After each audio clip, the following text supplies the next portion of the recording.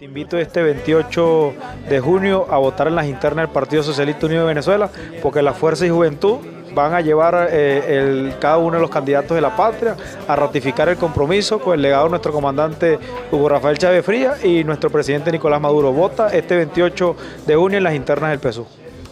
Los que quieran.